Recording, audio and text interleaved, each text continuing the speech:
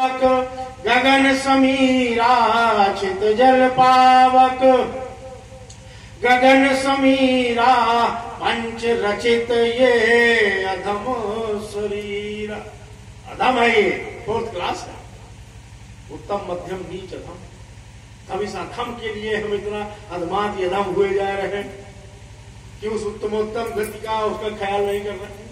इसलिए जरा ख्याल करने की अब आवश्यकता है।